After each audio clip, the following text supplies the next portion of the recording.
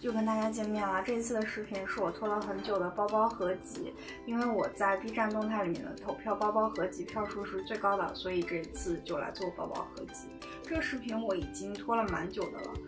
呃，从去年拖到现在。去年做完了鞋子的合集上，然后就想做鞋子的合集下，录完了之后觉得自己表现不是很好，所以就拖到了现在。所以我录完这只包包合集之后，也希望能尽快的把鞋子的合集下篇录出来吧。这支视频我也不知道会有多长，也许要分成上下篇。所以废话不多说，就让我们现在开始吧。所以这支合集我是打算按照品牌来说的。首先就来说一下我买的最多的包的品牌，就是 LV 啦，就是呃很大众的。很俗气的 LV，然后首先我要说的就是我最近新买的这个 LV 的这个小帽箱。这个帽箱我其实是想买它的那个老花款的，但是我在我们当地的这个店里面订了，就一直都没有订到，订了好几个月，是去年出了不久我就订了，结果没有订上，呃，所以我就退而求其次，然后想着试试看订一下这一只，结果没有想到这一只订到了，所以就这一只感觉也不错吧。这一只跟那个老花的不一样啊，这一只它就是，呃，外面全都是这个牛皮的质地了，然后这个链子这里也是比较软的那一种，然后这个带儿也非常非常的细，它是可以调节长短的。其实它长的时候我觉得也不是很长，呃，然后它的五金都是这种金色的，然后这个皮子就是非常的软。就是，而且也跟老花的比比较不好保养，而且这个皮子这一面，就是它的这个裸色的这一面呢，呃，当时导购告诉我是因为它是那种跟 LV 的那个配件皮皮是应该是同一种皮质，所以这个皮子是会随着时间的流逝，渐渐的颜色变深。我在网上好像看到有功课说，甚至晒的比较多，它颜色也会变深，我觉得好可怕呀。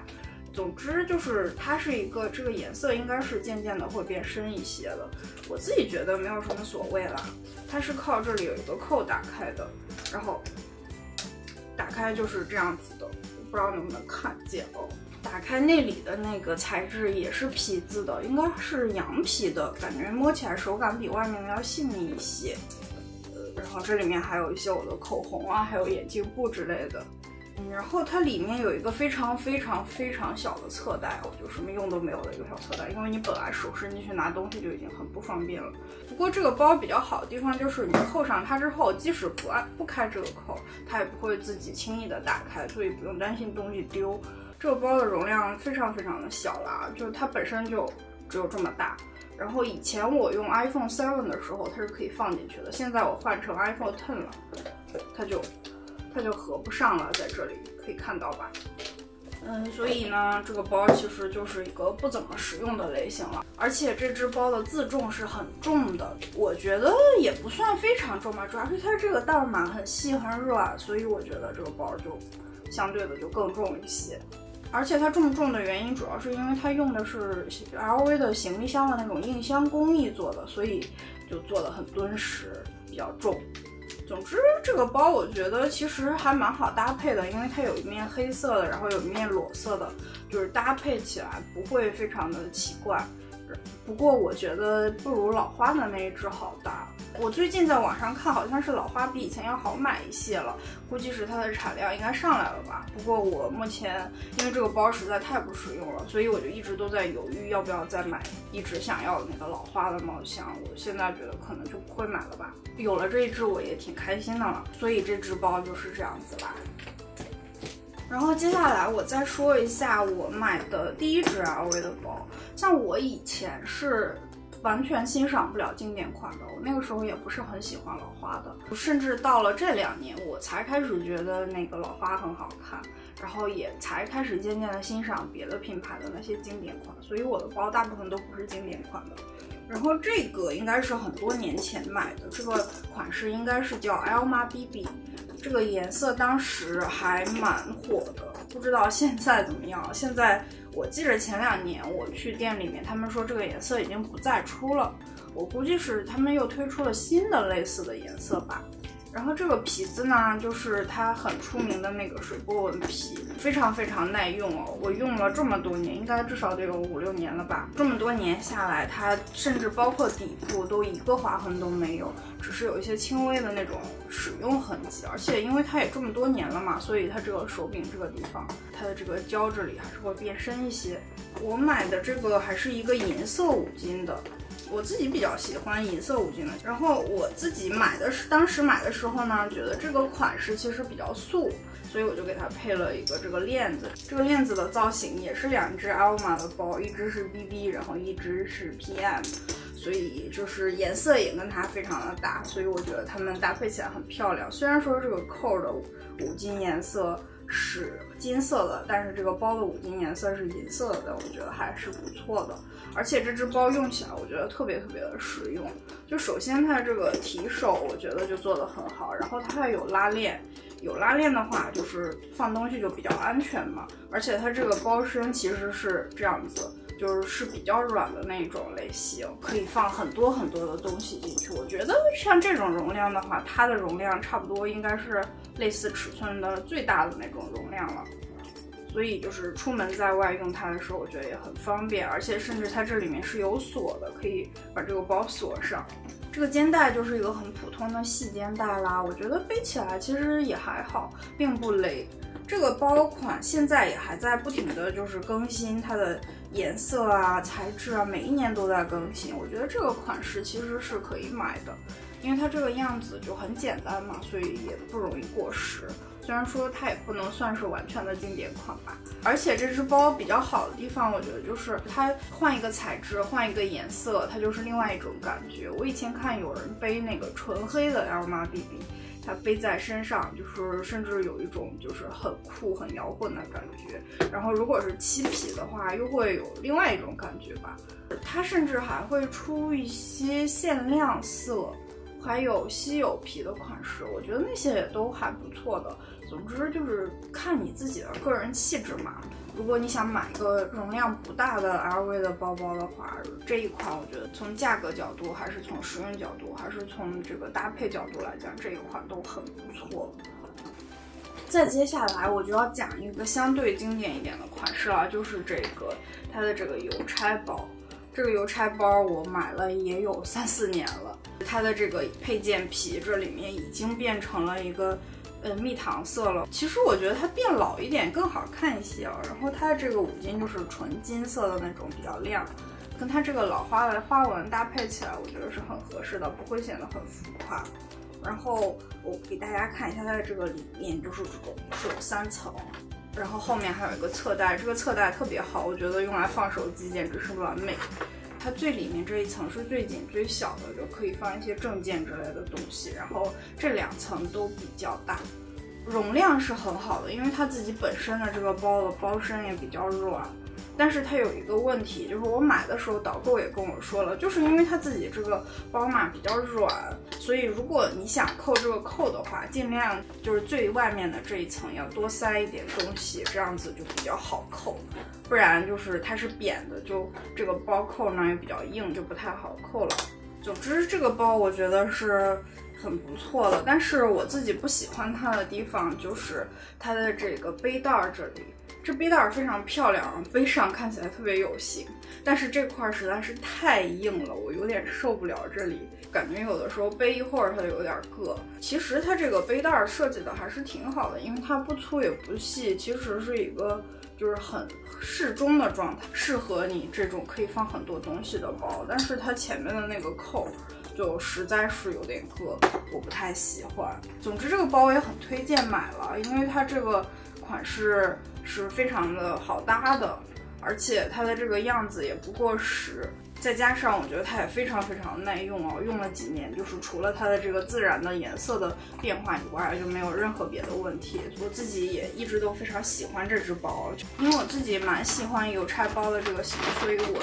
去年呢又买了一只这个。Mini size 的这个邮差包，然后这个邮差包就跟那个就有点不同了，这个就花哨很多，所以我现在就来给大家说一下这一只，它是去年冬天的时候我买的，我记得当时它那一季是以日本的一些传统文化为灵感的设计，所以这一款就是当时那个系列的其中之一。这款其实并不难买哦，我就随便的在跟导购说了一下，他就帮我订到了。然后它其实跟那个比，我觉得并没有那个大的邮差包实用。首先它后面就没有这个侧袋。然后它里面呢，就是虽然也是三层，但是它这个尺寸变小了，而且它的这个就厚度也变得很窄，所以其实装不了太多的东西。当然这一款也跟那个老花的那个一样耐用哦，因为它外面的这个皮子。就是别看它是印花的，但是它其实质量应该是跟我的那个 Elma BB 的那个水波纹皮差不多，所以它也是应该非常耐用的类型。还有就是它另外有一个设计上不同的地方，就是它这里面除了它之前的包扣以外，它这里面有一个锁，这个锁是真的锁，不是假的锁，不是那种普通装饰性的，就是拧它，它这个包是真的可以锁上的。就是有了这个锁链之后，这个包也。背起来会变得有一点吵，然后它还有一个大的变化，就是它的这个肩带呢是这种金属链的，不再是那个皮带的了。其实这个背起来这个金属链是很可爱的，但是它这个链儿其实还挺沉的，因为它的这个花色，我当时买的时候还犹豫了很久，不过到手之后觉得还行，所以我就留下了。但是我其实从买的到现在背的次数并不是很多。主要是这个花，我觉得限制它的搭配，跟那个老花比就差很多了，不像老花随便什么都可以搭。呃，总之这个包我觉得就是看你自己的喜好吧。这个包目前应该还是可以买到的，不过从实用角度讲，我就不是很推荐这一支了。然后下面这一支就是一只小包了，这个小包应该是我前年的时候买的。它是当时的一个夏天的限量系列出的小鸟主题的几款，就是从大到小都有。我记得大的那应该是叫 Twist，然后当时买的时候，我在店里面试了那只大的，但是我背上那个大的效果不是很好看，反而背这个小的这个长钱包造型的就是效果还不错，所以我就买了这一只。然后像它这个链子本来就是这么长的。是一个你侧背还是挎着背都很好的一个尺寸，然后它肩带这里也有一块皮垫儿，所以这个背起来就不会很累啦，不像刚才的那个小邮差包一样，就全都是链子，我觉得那样其实有点勒。然后它这个表面的材质呢是水波纹皮，里面应该也是水波纹皮吧，只不过是另外一种波纹的。然后它这个其实容量还不错，可以放六张卡，然后还有一个特别小的内里，还有一个拉链小袋儿。这个拉链小袋儿有的时候我会放一点药片什么的进去。总之，它这个侧面是有一点点厚度的，所以。我觉得这个特别特别的实用，尤其是在不管是冬天还是夏天，你在搭配里面想要一点颜色的话，这个黄色都特别合适。再加上它这个小鸟的造型也有很多种颜色，所以主要是你身上的衣物呢有上面的这些有这个包上面的颜色，它基本都能搭得上。我觉得这只包呢，就是不仅设计的很特别，而且它也非常实用。这个就是我自自己最喜欢它的地方。再接下来，我还有两只 LV 的包，说这两只其实是同款不同色，所以我就把它们拿在一起给大家看一下。然后像左边的这一只呢，我不知道左边，不知道在视频上是左边还是右边啊。然后这一只就是一个焦糖色的，这个当时这一只包应该是秀场款的，然后也是我去店里面订，等了一阵子才拿到的。我自己很喜欢这只包的外观啊，而且它这个颜色就还蛮特别的。它的这个皮子呢是那种就是有一定哑光感的那种牛皮，非常漂亮。但是这个皮子有一个坏处，就是它不是很好保养，而且它也很容易划伤。嗯，所以这只包我就是如果出门旅行的话，我一般是不会带的。然后这只包最好的地方就是。它的这个肩带是中间宽两边窄的，所以这样背起来就不会很累。它这个扣子是这样子的，其实比看起来要简单很多，就是就是这样，就可以打开了。然后打开就非常简单了，就是有一个拉链带拉链的小袋，然后有一个大兜，然后有一个侧袋。这侧袋里面怎么还有东西啊？从实用角度上讲，我不是很推荐这只包，因为这只包包身整个就是大家可以看得出它是硬的，然后下面这这块还把它设计的往进凹了一点儿。既然是硬的的话，它就可撑开的那个空间就很小，所以其实装不了什么东西，特别是它上面的开口还比较小。呃，还有一个问题就是，其实这个包看起来很好，但是背起来我觉得用起来不是特别的优雅。主要是因为，就你可以看这儿，它的这个包盖儿这里呢，跟这个把手这里，它是它这块是钻了两个洞，直接把这个包袋这样放进去的。所以有的时候你想扣这个包的时候，如果你包装的不是很满，它就会掉下去，就会有的时候会影响你扣这个。开合这个包的动作，你没有办法单手去把它搞定，就得两只手这样扣着，感觉不是很好看。这个焦糖色的呢，我去年用了特别特别多。我自己除了喜欢它这个皮子，还有它的这个颜色以外，我还喜欢它这个白色的这个缝边儿，这种 stitching 是我应该是差不多最喜欢的一种样子。总之，这个包我觉得就是你，如果你能遇见的话，我觉得可以买的，就是没有必要去特意去追求它，因为它的使用角度来讲，我觉得真的很一般。我再来说一下它的这个同款不同色的这个老花款啊，它的这个皮子呢是下面的这一部分，包身是老花，然后包盖是牛皮的，然后不管是包盖还是包身，它都比。刚才的那款棕色牛皮的要软很多，所以这个其实用起来要比那个爽很多的。哎，怎么怎么包里面都是东西？又有一个润唇膏。然后这一只包它也是白色的缝边儿，所以其实看起来也挺不错的。我当时是先买的这一只，用再买的棕色的那一只，后来感觉都挺好的，所以就都留下了。嗯。它的这两只包，它里面的内里都不是皮子的内里，都是绒面的内里。这样子，这个包呢可能可以更轻一点，因为它本来就是一个就相对很硬挺的款式嘛，所以用起来我觉得如果是皮子内里的话就会很重。呃，用起来我觉得这个使用感跟那个差的不是很多，主要是因为它皮子软，可以再多塞一些东西，这一点很好。而且它因为是黑色的。这个皮也不是刚才的那一种那种哑光的牛皮，下面也是老花的材质，所以用起来就可以不那么的心疼。像我去年回国一个多月，我带了这一只包，就是带着它到处跑都没有任何问题。然后这一支目前应该还是可以买到的，我之前有在店里面看到过。像如果你想买这个款式的话，我还是比较推荐老花这一款，不是很推荐刚才那个棕色牛皮那一款，那一款没有这一支用起来好，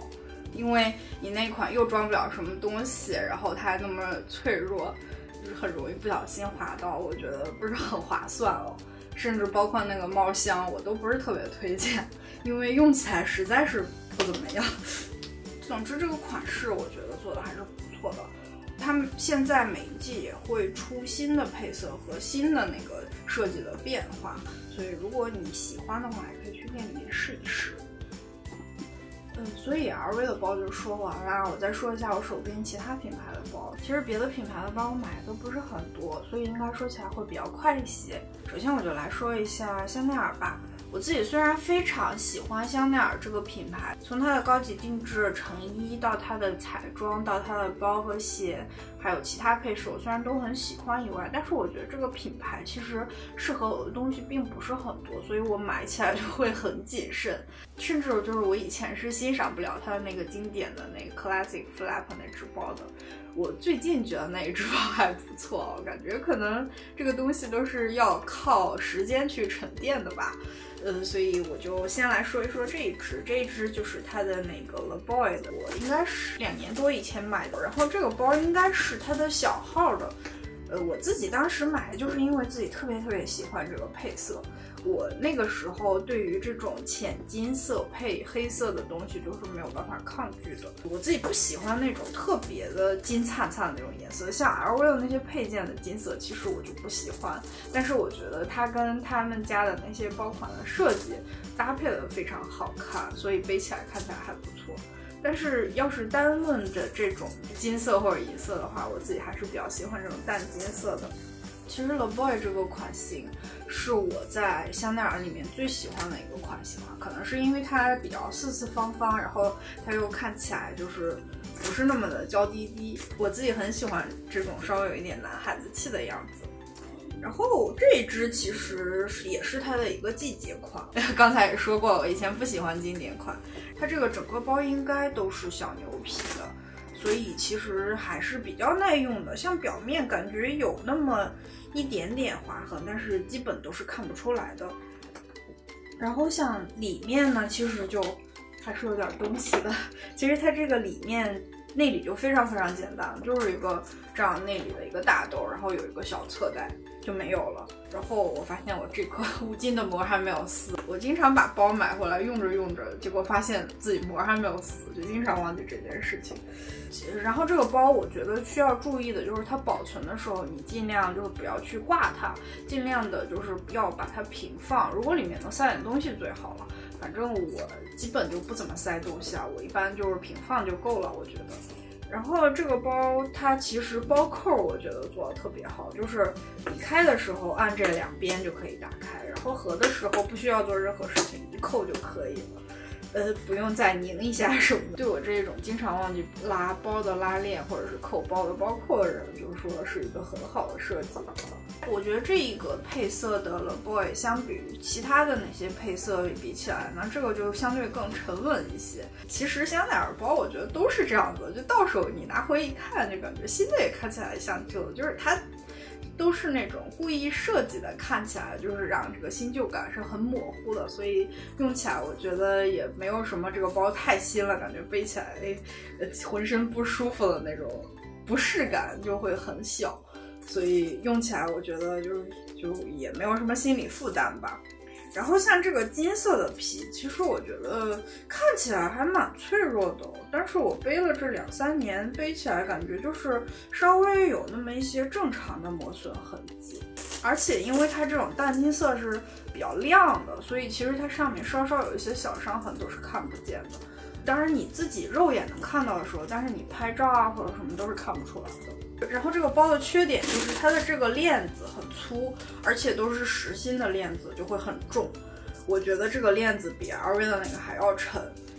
所以其实它背起来是背久了是蛮累的那种类型。还有一个它的这个缺点就是它的侧面的这个地方，侧面的高度跟它的包盖中间是有一个缝的。这个缝呢，我以前就经常会掉口红，你要特别注意，不要让它有那个细小的东西从这个地方掉出来，不然的话可能会丢口红什么的。总之，这个包我觉得这个配色呢是一个可以用很久的配色，然后我自己也非常喜欢这个款型，应该以后也会继续用很久。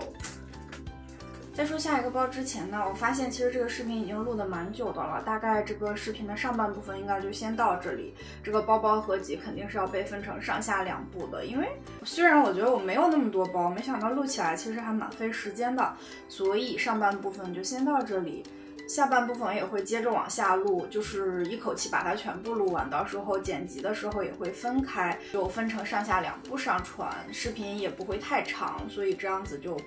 不会影响大家观看，所以我现在就要在这里跟大家说再见啦，让我们下半部再见喽。